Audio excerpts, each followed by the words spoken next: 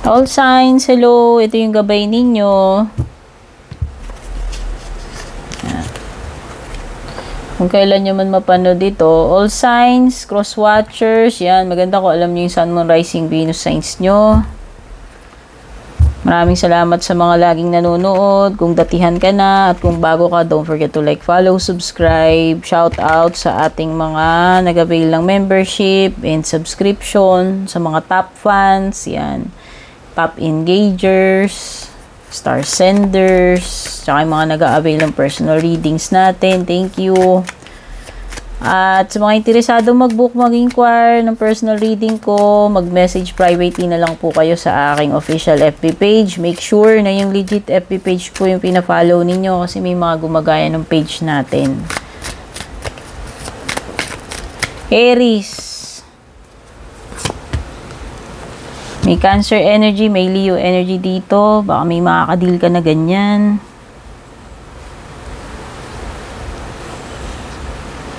Okay, parang may mag-ano, mag-open up ng kanyang feeling sa iyo, whether ikaw yan o yung person na binabanggit ko. Pwedeng si Cancer. Oo, tong person na to i-express niya yung nararamdaman niya sa iyo or ikaw expressing your feelings to someone.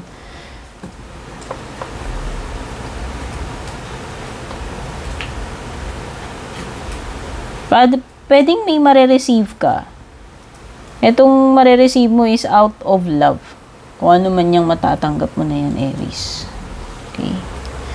Or whether ikaw yung magbibigay or you will be doing something out of love. Yan. Whether ikaw yung giver or receiver dito. Pwedeng bagay yung marireceive mo, pwedeng gesture, o yun na nga, pwedeng ano, merong someone na mag express ng feelings, yung totoong nararamdaman niya. Whether ikaw yan, expressing your feelings to someone, or, ik, or ik, sa'yo mag express ng feeling yung person, kung sino man yung person na yun, pwedeng ang si Cancer, no? At you have strength card. No, you need to have strength, courage sa ngayon, Aries, dito sa bagay na kinakaharap mo kakailanganin mo. Ayan. Pwedeng may mahirap, challenging situation para sa iyo or situation wherein kailangan ano matindi yung patience mo, matindi yung pagtitimpi mo. Okay, pwedeng may mga ano dito, yung feelings na feelings na matagal nang na na hold back And it's time na i-express yung feelings na yan. whether from someone or ikaw, kung ikaw yung mag express na itong mga nararamdaman na to. Ma meron kasing parang feeling ng restraint, nagpipigil. Oo, nagpipigil ng emotions or galit, kung ano man itong uh, or nag or yung mga nararamdaman niya, hinuhold back niya, parang yun nga yung napipick up kong energy. Okay? Pero overall, meron kang strength card, ibig sabihin, ano, ano man yan, kakayanin mo yung situation mo. Kasi, meron kang sapat na inner strength para, para ano yan, ma-resist mo kung, may, kung meron ka mang bagay na ano, yung kailangan mong pigilan yung sarili mo. Okay? Taurus, ano ba yung dapat mong malaman, Taurus? Ay, suntik na mahulog. Wait lang, wag to kasi ito yung ano balsahin ko. Yun yung kay Leo eh. Baka na ano lang.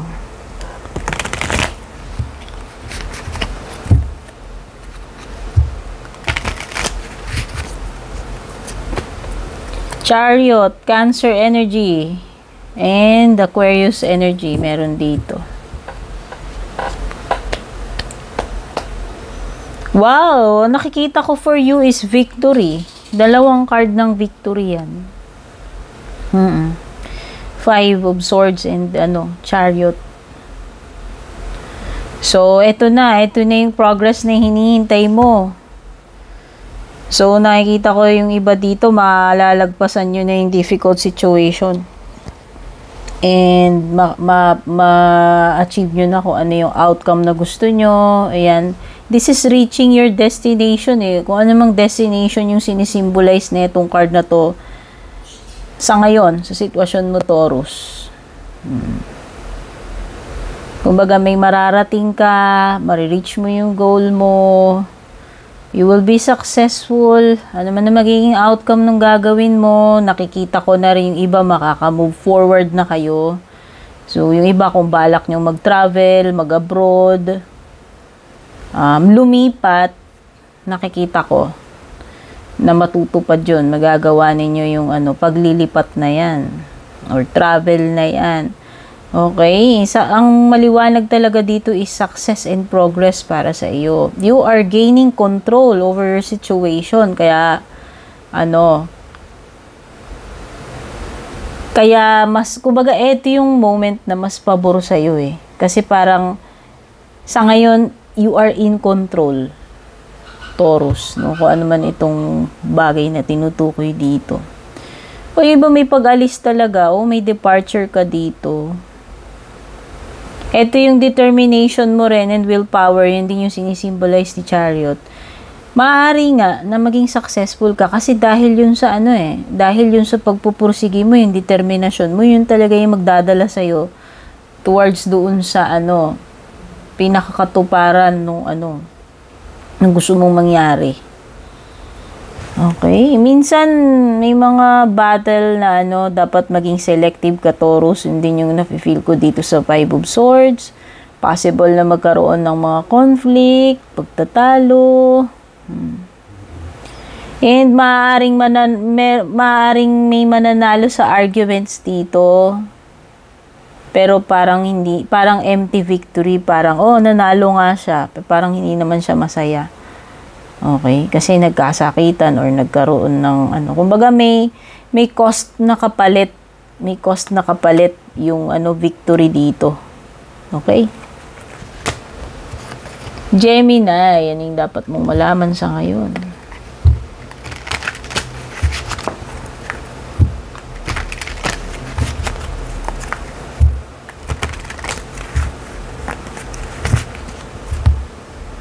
Wait lang guys.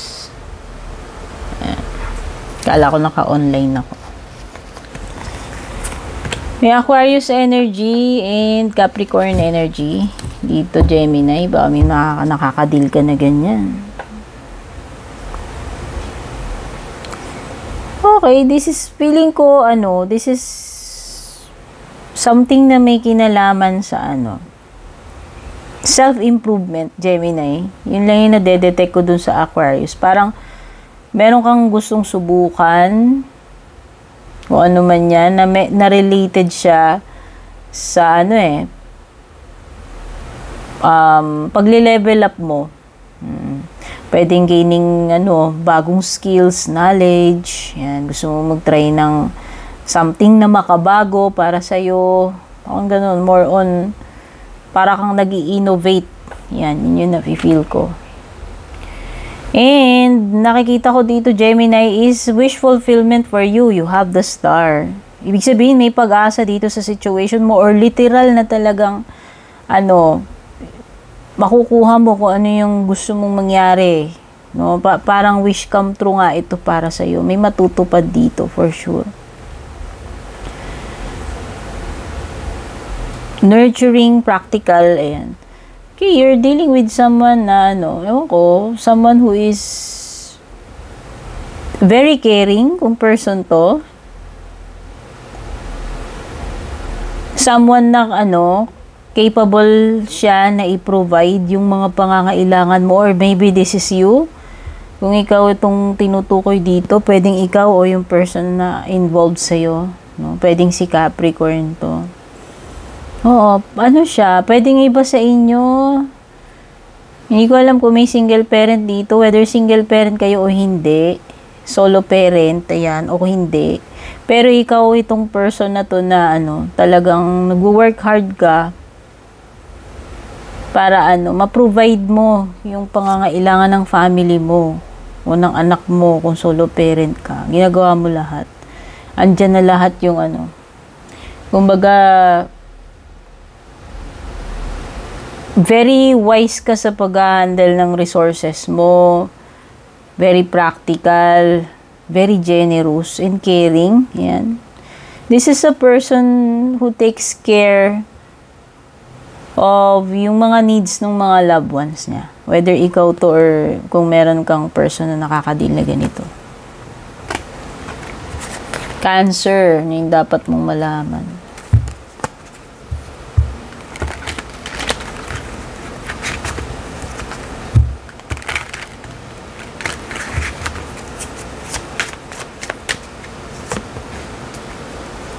Sagittarius energy, meron ditong dalawang fire sign. Man, baka may nakakadil kang ganyan, Sagittarius at saka Leo. Mm-hmm. Oo. Alam mo, dalawang card dito na ano, nagsasabi tungkol sa ano, courage. Na huwag kang magigive up basta-basta cancer kung ano naman itong situation na to. Mm-mm, maaaring ano, maganda ka pa, maaaring um, masasagad ka rito. Susubukin talaga yung iyong limitations kung hanggang saan yung kaya mo. And it's, it's, ano, it's a sign na huwag kang magigive up. It's a sign na mas lalo mo pang, ano, tibayan yung kalooban mo. Oo, this is you na pagiging warrior na talagang lumalaban ka kahit kahit na ano kumbaga kung ano yung natitirang lakas ay bubuhos mo yun eh yung nakikita ko rito eh Okay, you also have to prepare for the worst if ever, no? Maganda na yung handa ka. Yun lang din yung nafe-feel ko rito sa isang card mo. Okay?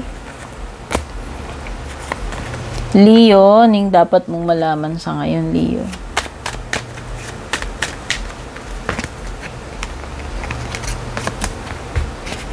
Meron kang Scorpio energy. Oo, specific Scorpio. Strong energy ng water sign. Okay. Kung ikaw ito, are you being moody lately? Yan. Pwedeng ikaw ay nakakaranas ng mga mood swings. Oo. Pwedeng iba sa inyo, nadi-disappoint kayo Pwedeng iba, nagiging, ano, yun nga, sensitive, emotional, moody. Whether ikaw yan o yung person na nakakadil mo, pwedeng si Scorpio.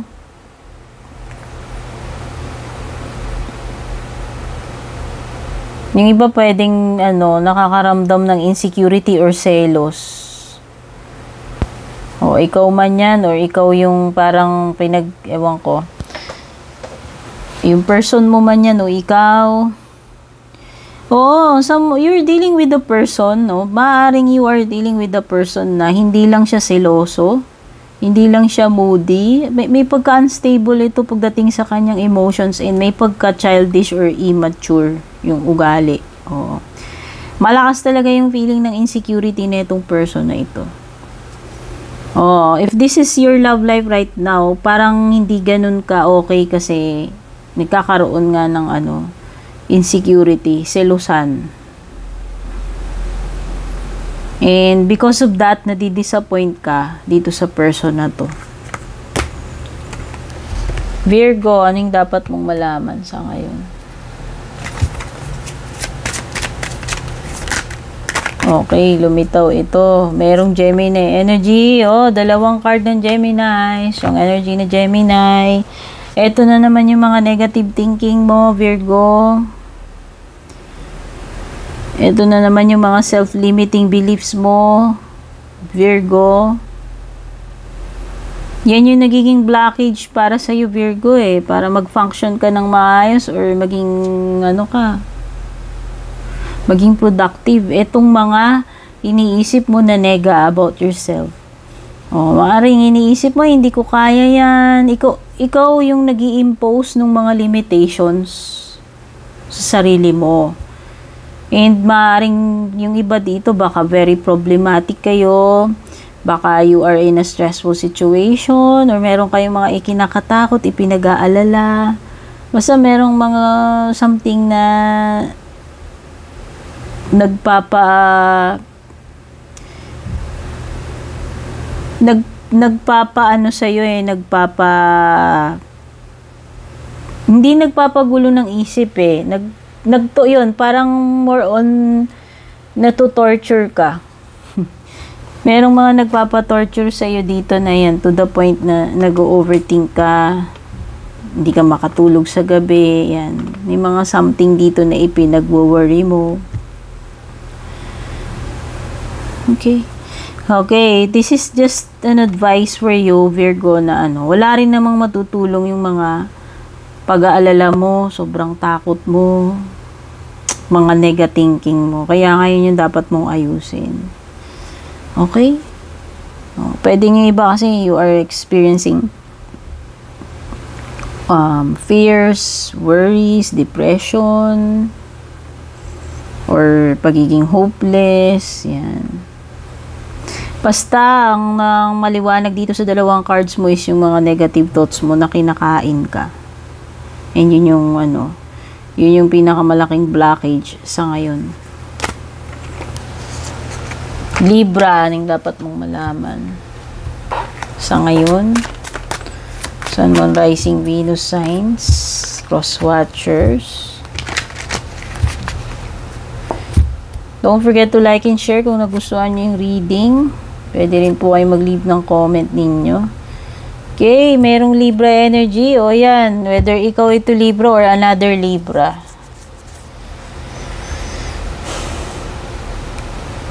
Okay, finally, finally, na, ano, finally, merong magbibigay dito ng kanyang boundaries. Maglalagay ng boundaries. So, whether ikaw yung dapat gumawa niyan. Finally, magdi-decide ka na harapin yung dapat mong kaharapin dito Libra, i-deal with mo na yan. Kung ano man yung gusto mong sabihin, your opinion about something, it's better na maging honest ka, harapin mo yung mga bagay-bagay. Importante na magprangkahan, derechahan. Communication ang importante dito, Libra. This is giving an unbiased judgment. O may meron ditong something tungkol sa ano, pagbibigay ng iyong say or judgment about something or a situation. Or if you're dealing with a person, parang ano, pra, pa, magkakaroon na ng prangkahan. And, yun na nga, pwedeng ano eh, pwedeng kailangan kasing der, sabihin mo directly kasi parang dito may naghahanap ng closure.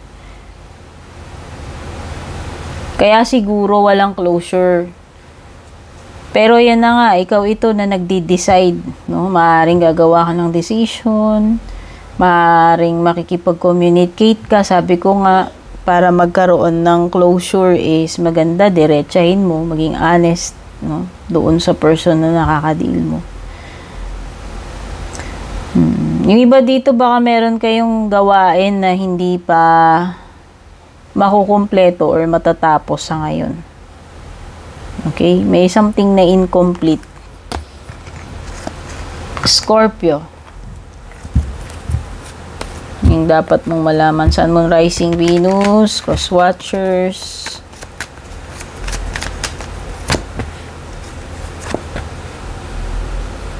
Okay, cancer energy. Baka may cancer person. Nakaka-deal. Hi, pagiging withdrawn. Ikaw ba ito? You are, ano, it seems na you are detached. Oo, parang lack of interest. Lack of engagement. Mm-mm. Wala, parang walang pake, walang gana, walang interest Yung iba, pwedeng ano, o yan. Pwedeng iba baka may energy ng tinatamad, nagdi-delay-delay, procrastinate ng dapat gawin. Kawalan ng engagement, kawalan ng commitment. Yan. Whether sa relationship yan o sa gawain. Magiging disconnected eh, oh. Parang ayaw mong mag-engage dito sa person na to or sa situation na to. Dinidisconnect mo yung sarili mo kung ikaw yan or si cancer man yan. This is a time for meditation also, si four of ano, cups, pwedeng ano, whether ikaw ito na nag, meron kang minumuni-muni, pinag-iisipan, or si cancer. Sagittarius, yung ano, Sun, Moon, Rising, Venus, Cross Watchers, anong dapat nyong malaman, Sagittarius.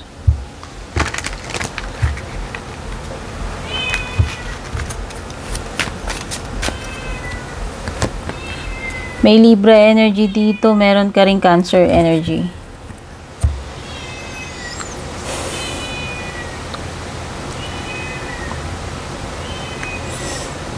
Okay, nakikita ko dito ikaw na nagre-reflect ka. So, kung ano yung pinaka tamang gagawin mo. Pinag-iisipan mong mabuti. Talagang binubusisi mo, hinihimay-himay mo yan lahat ng options mo, tinitimbang mo.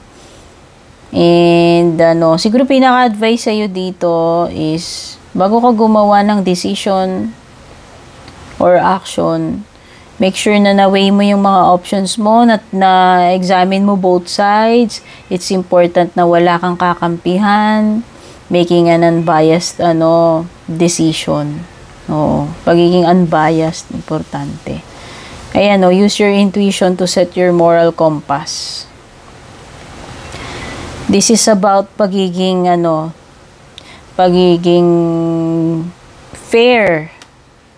O, pagiging fair to someone or them na nagiging fair para sa iyo or a fair a fair decision whether ikaw yung nakatanggap ng fair decision na yan ang pagiging unbiased yung judgment de, them towards you or ikaw sa kanila. Ayan. Cause and effect, ibig sabihin, ito yung mga consequences ng actions na maaring ano, maaring ma, ano mo, ma-receive mo.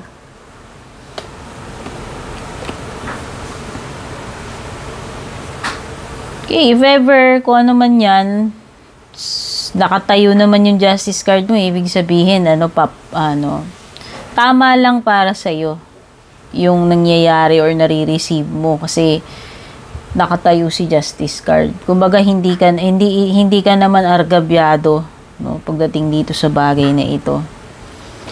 Okay, there ito nga yung Four of Cups which is yung something na ano pinag-iisipan ng mabuti may meron kang something dito na nire-review mo eh. Parang i-re-evaluate mo. I-re-evaluate mo yung situation. Pagiging disconnected din ito. Maybe there is something na ino-offer sa'yo or something na meron dito sa harapan mo pero you wala kang hindi ka interesado or hindi ka ayaw mo i-commit yung sarili mo dyan sa bagay na yan. Capricorn. Sun, Moon, Rising, Venus, Cross Watchers. Ano yung dapat nyong malaman, Capricorn, sa ngayon?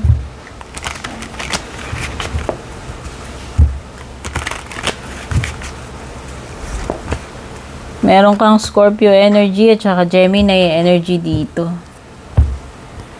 Okay, may ending with the death card. Sabihin na natin, may mga bagay na magbabago na rito, Capricorn, whether you like it or not. May mga pagbabagong paparating or meron na talagang pagbabago na nangyayari.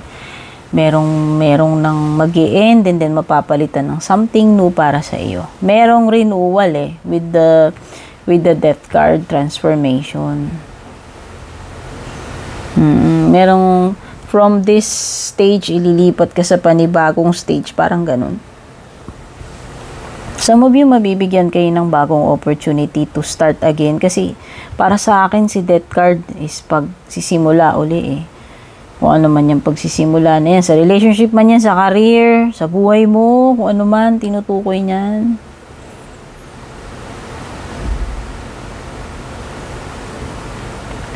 Okay. Okay, so nakikita ko a period of suffering will end para sa iyo Capricorns. To be specific, kung ano man itong mga nag, nagbibigay sa iyo ng torture, stress, pag-worry, yan na yung mga magtatapos sa iyo. Okay? Aquarius, ano yung mga dapat mong malaman? Sun, Moon, Rising, Venus, Cross Watchers, Aquarius.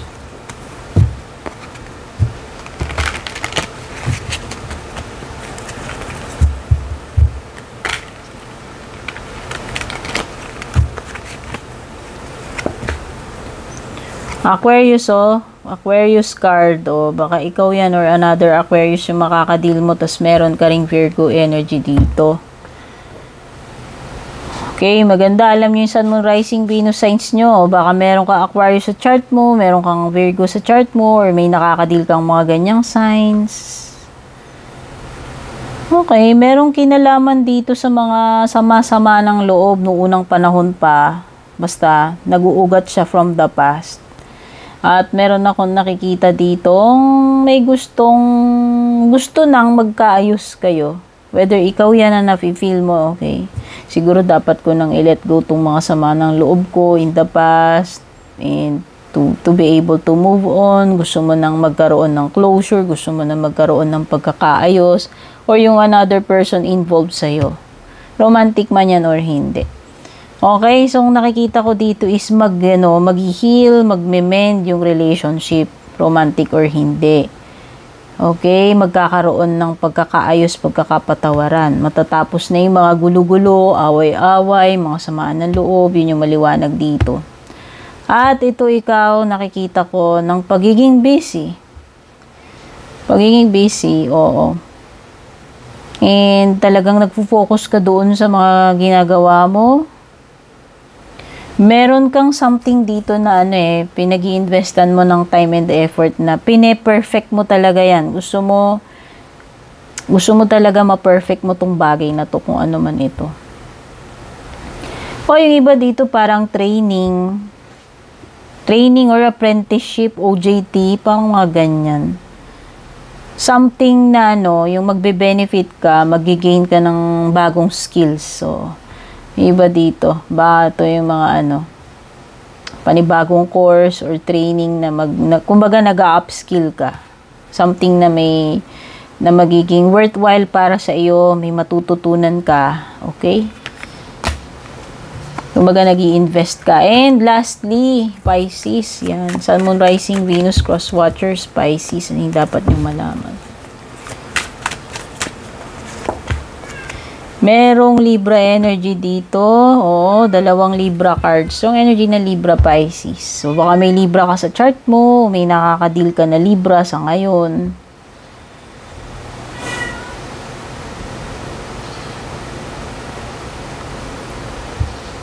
Okay, iba sa inyo dito may tendency na bibigay kayo kasi napapagod na kayo. Sobrang pagod na. Ayan, baka bumigay katawan sobrang pagod, kawalan ng pahinga. Oh, kung hindi man yan about physical exhaustion, emotional exhaustion, or mental exhaustion, papagod na yung isip mo, pwedeng napapagod na yung kalooban mo, or literal na napapagod ka yung katawan mo. Kailangan mo ng break, ng pahinga. Mm-mm. Oo, pwedeng iba, yun na nga, bumibigay kayo sa stress